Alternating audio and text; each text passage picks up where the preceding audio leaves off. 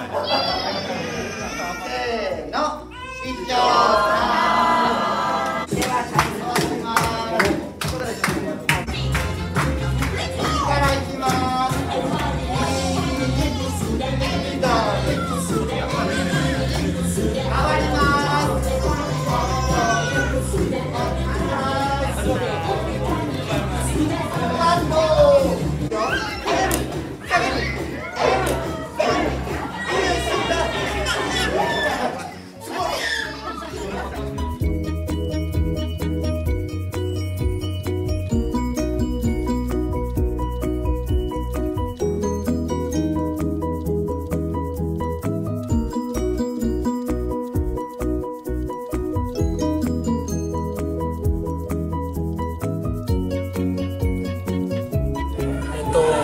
いろんなパパさんがいたので、まあ、触れ合えることができたっていうのと、まああの